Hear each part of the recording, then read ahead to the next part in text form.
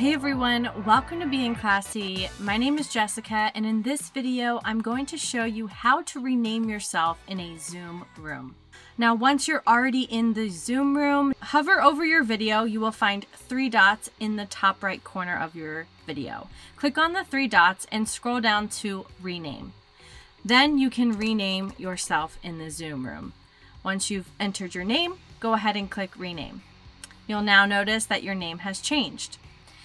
If you are hosting the meeting, you can also rename the people in the meeting by clicking on the three dots here and renaming the participants. The other place that you can rename yourself is through the participants panel.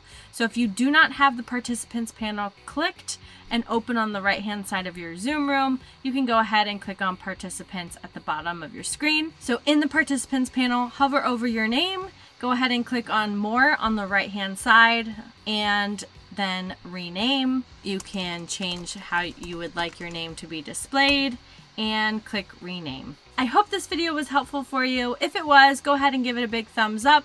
Share it with anyone else who may benefit from it. And don't forget to subscribe to stay up to date with all things tech tips. See you in the next video.